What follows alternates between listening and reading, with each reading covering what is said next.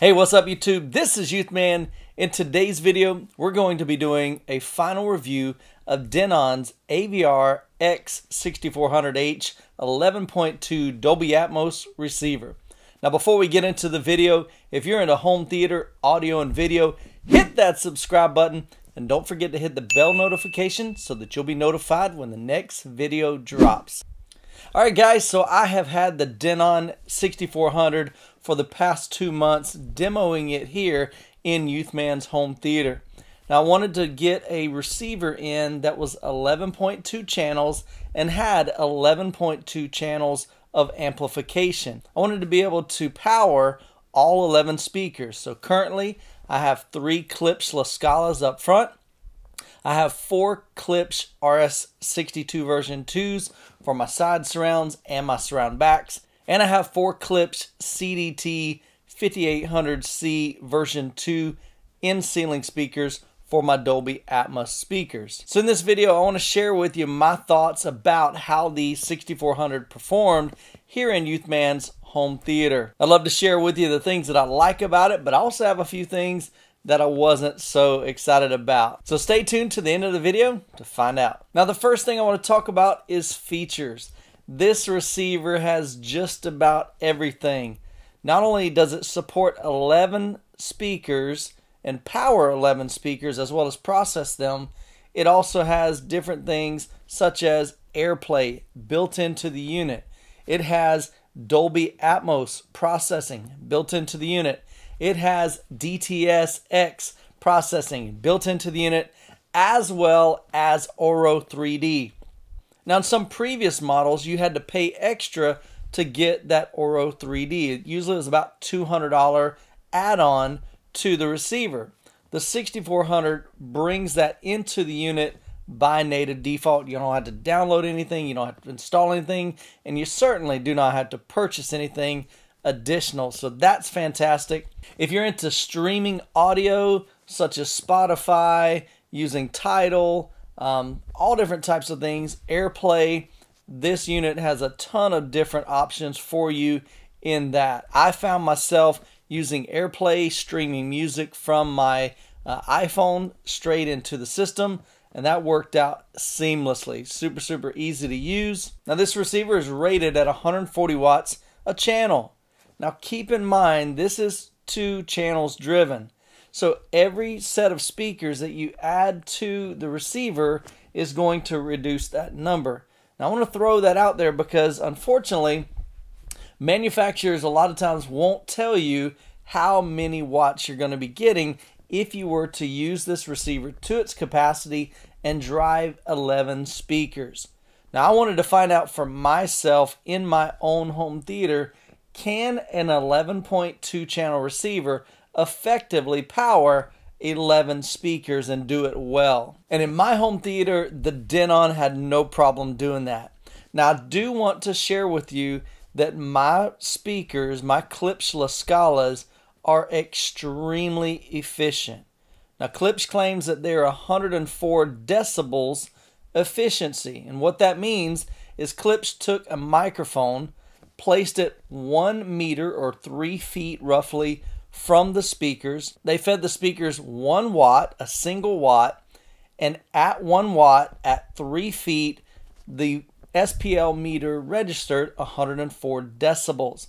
Now, if you want more details on speaker sensitivity and how that affects your system and how that affects sound, you can check out this video right up here. I produced that several weeks ago on speaker sensitivity, so that's a good resource for you. So I highly recommend after the video maybe going and checking out that. But I mentioned that in this video because my setup is extremely efficient.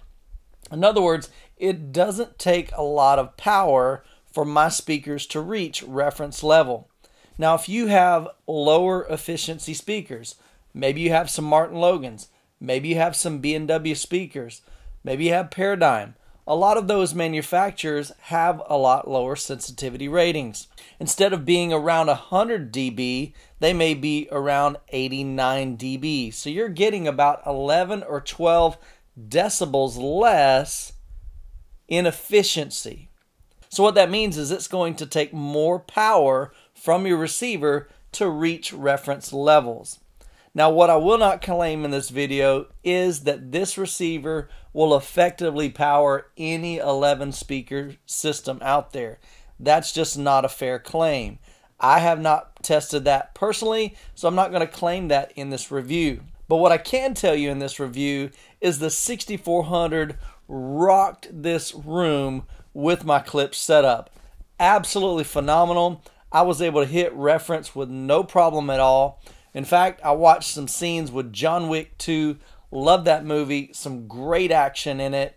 And I wanted there there's one scene in there that is my absolute favorite. There's just something about the dynamics from going super quiet to huge sound and I wanted to see how the Denon performed. Absolutely amazing. Handle that with no problem. Now, if you have lesser sensitive speakers than I do, the Denon may not perform as well and be able to reach those reference levels like it does here in my theater. Now, the one great thing that the Denon offers is you do have pre-outs for additional amplification. So let's say you purchase the 6400 and you maybe at the beginning you have a 7.2 system. So you have seven main speakers and then you have your two subwoofers. So the receiver may be handling those perfect. They may be handling those fantastic and sound really great. But let's say down the road you decide to add four Dolby Atmos speakers, and at that point, that's a little bit too draining on the receiver. You can always purchase a two channel amp, a four channel amp, five channel amp to remove some of that pressure from that amp and be able to allow the amplifier to only power a certain amount of speakers as opposed to all 11 speakers. Now, when I first got the Denon, one thing that I was really pleasantly surprised with is how easy it is to set up. During the calibration process, as you go through setting up using Audyssey, it walks you step by step through all the configuration. It shows you even how to set up your speakers. It gives you a lot of different varieties of how to set up speakers because not everybody's room's the same. Some people have a 7.2 system. Some people have a 5.1 system. You may have a 7.2.4 system like I have in here. So there's a lot of different variations. Some of you will use Dolby Atmos in ceiling speakers, while others may use front height and rear height surrounds. And so there's a lot of different variations, but the great thing is the Denon gives you a visual representation in the setup menu to visually show you which speakers you're setting up and how to set those up appropriately. Now, one thing I want to mention about that, just as a caveat, is that not every setup in the menu will accommodate Auro 3D.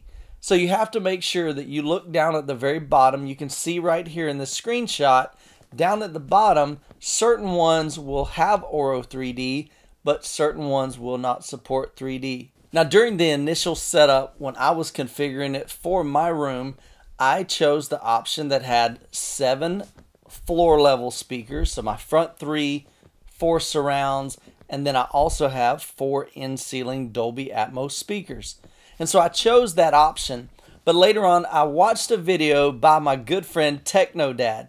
Now, if you don't know who Techno Dad is, go check out his channel. Incredible guy with a lot of content and a lot of knowledge in home theater. Now, in his video, one of the things that he mentions is that Auro 3D is not supported with some of those options. And so, one thing he recommended is if you want to have the ability to switch between DTS:X, Oro 3D, as well as Dolby Atmos, one way to get around that is to use front height and front rears as the selection in your speaker layout. And so that's what I chose, and it worked out perfect. So during movies, you have the ability to easily select which processing you want. Sometimes you may want to try to see what the Auro 3D sounds like. You may want to switch to Dolby Atmos or just allow it to natively select it by default. But you do have that option to manually select that processing on your own. Now, my previous receiver was an older Onkyo receiver. Now, it did not support Dolby Atmos, and so I've been in my journey. And if you've been a part of this channel for a little while, you've seen my progress heading into Dolby Atmos and my journey into Dolby Atmos. And during that process, one of the things that really frustrated me with my previous receiver is video switching. Many times when I would switch between one source to another, I would literally lose the connection. So my projection screen would be just blue. Sometimes I'd have to turn off the receiver, turn on the receiver, turn off the projector, turn on the projector to get that handshake to match up and for that signal to be shown. One thing I found out with the Denon, absolutely no problems there.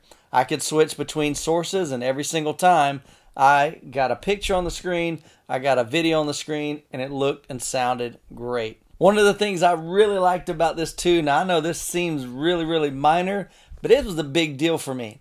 Think about this when you're connecting 11.2 speakers and you've got various HDMI inputs and all of this, there's a lot of wires back there. And one thing I really value is cable management.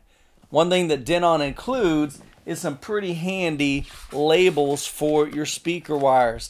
And so you can peel these off, clamp them onto the speaker wires, and easily be able to identify where they belong. So that makes it super handy, especially if you're replacing your current receiver with the Denon 6400. You can apply these labels to your current wires, unhook everything, put the Denon in its place, and easily connect those back because they're all nice and labeled. So Denon, super appreciate that. That was a cool feature there. Now during my review of the 6400, the only thing that I did not like about it was it produces a lot of heat.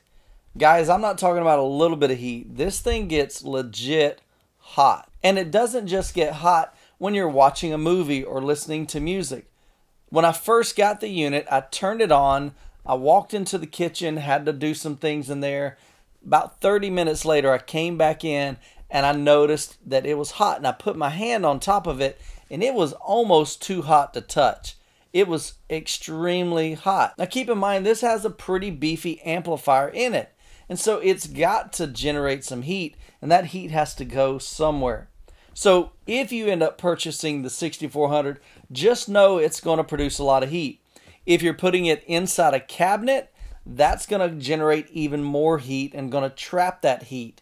In my cabinet, I've got a lot of open space but it still gets really hot in there. So if you buy the 6400, one suggestion that I would encourage you to buy is a receiver fan.